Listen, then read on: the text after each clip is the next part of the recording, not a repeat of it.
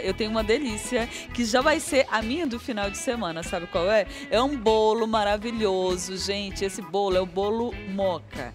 Ele remete ao café, porque a gente vai utilizar café sim para dar essa cor e mais sabor e mais aroma para essa cobertura e também para o recheio dele. E além disso, tem uma castanhinha do Pará ali, uma castanhinha do Brasil, porque me conta, né? Claro que combina, né? Café com castanha do Brasil combina demais, não combina? Então vamos preparar esse bolo? Primeiro, eu vou te passar os ingredientes para você já entendendo como é que ele funciona, o que, que vai dentro do bolo e nem é complicado assim. Fica ligado. Olha aí a receitinha na sua tela.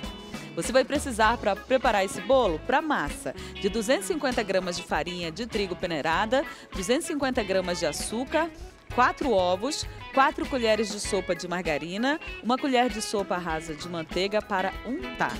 Cobertura e recheio. Você vai precisar de 200 gramas de chantilly batido, 3 castanhas laminadas e 2 colheres de sopa de café solúvel.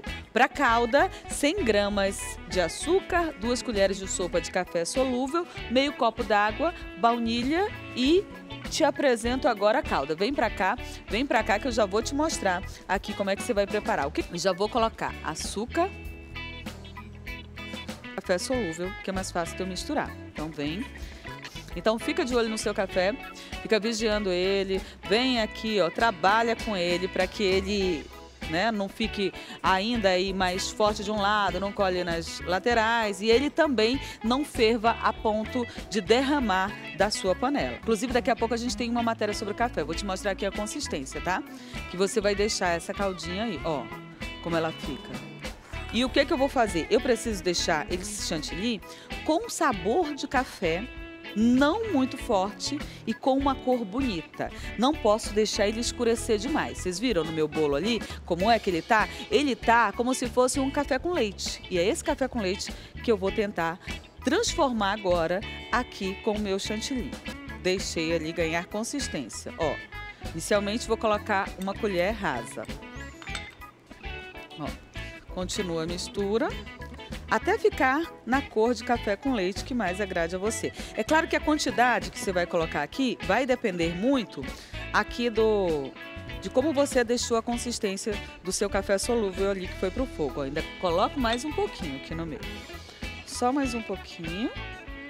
Mas vem para cá que eu vou começar o preparo do bolo. Sempre assim, né? Você coloca ali a manteiga ou margarina.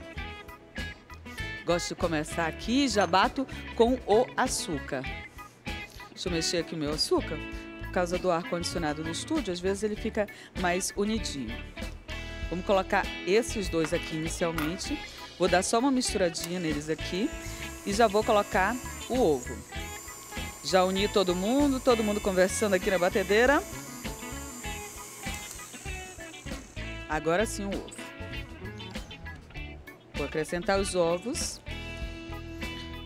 e deixar bater até ganhar aqui uma consistência e uma, uma consistência, né? Vamos dizer assim, bem cremosa, espumosa e também a gente ter aqui é, uma cor mais clara. Tá vendo que tá amarelinho, vai clareando, né? E vai crescer também. E isso daí é a base da minha massa. Então eu preciso que isso daqui fique bem batido, bem bonito, bem fofinho, para depois eu só ir acrescentando os outros ingredientes. Agora eu vou acrescentando aos poucos aqui a minha farinha de trigo. Acrescentando a farinha de trigo. Aos poucos, bate mais um pouquinho, para a gente não perder aí a maciez, a fofura da nossa massa. Acabando de bater, vou acrescentar no caso, baunilha. Um pouquinho aqui na minha massa.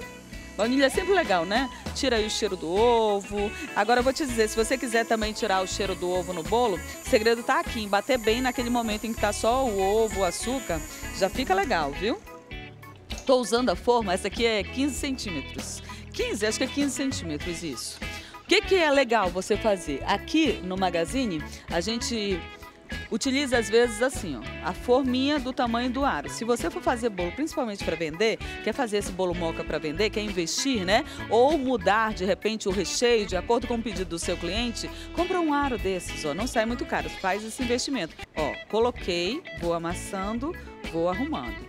Porque se ficar com ar, quando você for cortar, vai ficar uma bolha dentro. Então fica ligado aqui, um trabalho cuidadoso mesmo. Acho que isso é o que mais dá trabalho aqui nesse bolo.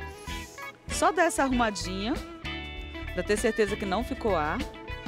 Ó, e aí eu não preciso encher muito a forma. Prontinho, para ficar mais lisinho. Olha essas formas redondas e esses aros são uma mão na roda mesmo.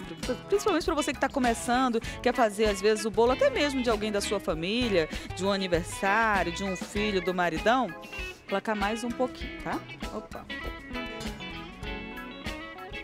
Prontinho. Saiu do forno? Espera dar uma esfriada, tá? Para você lidar com ele. A gente volta aqui para montagem do bolo moca. Aí olha aqui a situação.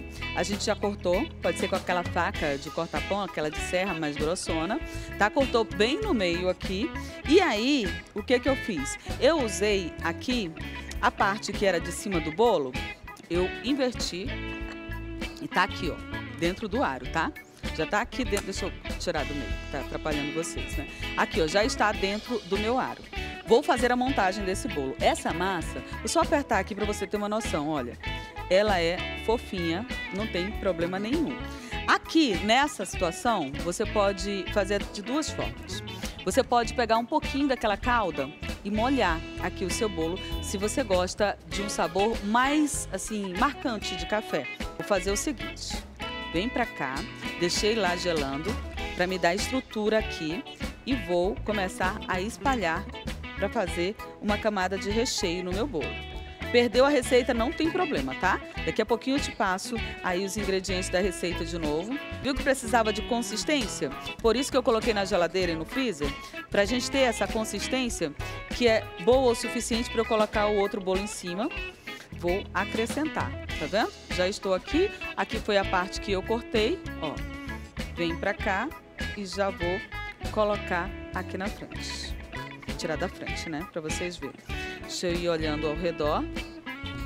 Prontinho. Tá vendo como aqui com o aro fica mais fácil? E aí, deixo ele aqui. O aro não vai permitir que o meu recheio escorra.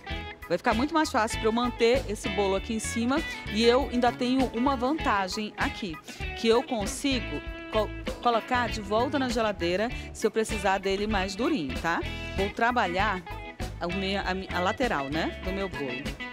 Aqui a gente vai caprichando do jeito que a gente prefere. Tem gente até que prefere o bolo mais assim, né, nu.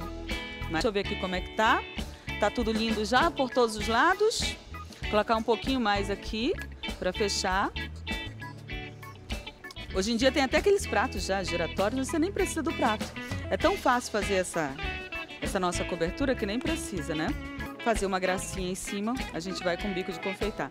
Porque o bico de confeitar tem que colocar esse creme no momento em que você for usar, não pode esperar muito, tá? Porque senão acaba entupindo ali, endurecendo a parte que ficou mais na pontinha dele. O que, que eu faço? Eu jogo aqui num pratinho, de preferência num pires, e ele desce e já cai e já cola aqui na lateral, entendeu? Deixa eu ver se vai. Ó, dá um susto aqui nesse bolo com essa castanha. Já começa a cair ali, tá vendo? Tá quase dando certo. É bom porque ele vai e ele cola. E o que cair, não tem problema, porque vai deixando o teu prato mais bonito, vai dando uma finalização assim para você, que não tem muita experiência, olha só vai fazendo isso ao redor do bolo todo. Deixa eu pegar tudo aqui. É legal até com aqueles confeitos de chocolate. Os redondinhos, então, vão com uma beleza. Ó, aí você sai jogando assim, espalha pelo seu bolo, deixa sobrar no seu prato também. Prontinho. Prontinho. Agora sim, ó. Agora que deu certo, ó, por causa do, do gelinho. Agora que tá começando a dar certo aqui. Congelou demais. E agora que tá começando a descongelar, que eu acabei colocando no freezer. Daqui a pouco tem Daniel Trindade aqui. A gente já fala também aí sobre os benefícios do café. Aí eu parto um, parto outro, eu quero partir é tudo, meu povo. Olha a situação. Fica um bolo estruturado, fica bonito e dá a impressão daquele bolo assim que deu muito, muito, muito trabalho. Vamos aqui ajudar aqui com o garfo. Magazine maltratando você que está em casa. Você que está aí. Oi? O diretor tá falando aqui. Diretor, a turma tá toda olhando ali. E aí, eu provo ou Daniel Trindade prova? Eu mesmo Porque o Daniel Trindade tem que soltar a voz já já, né? Aí tem que estar assim com a garganta limpa, mas já vou separando da turma toda ali da banda, tá? Olha, gente, aqui o bolo. Oh, meu Deus do céu, meu Deus do céu, por onde eu começo? Mica, mica, mica. Vou pegar um pouquinho aqui da, da cobertura também, dar uma passadinha aqui nesse cafezinho. E agora a situação? Vem comigo. Vem, samurai. Vem, samurai. Vem, samurai. Ai, delícia! Ai, hum. ai, delícia! Ai, delícia! Ai, ai, delícia! Gostinho de café. Ai, delícia! Na medida. Ai, delícia. Ah.